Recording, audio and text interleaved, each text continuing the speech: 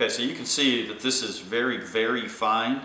Uh, if I could, I'll drop some of this onto my hand, you'll be able to see that it's literally flouring onto my hand and in the air for that matter.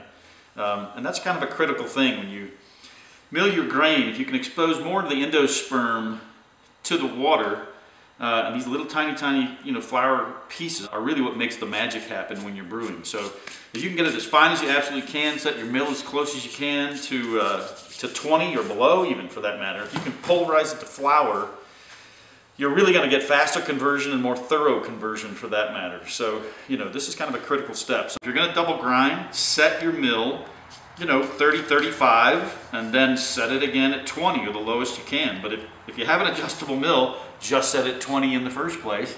Uh, and you won't have to uh, won't have to mill it again, and you're going to get great conversion. I know we're going to get great conversion here because is as low as it goes. You can see that stuff just popping up in the air.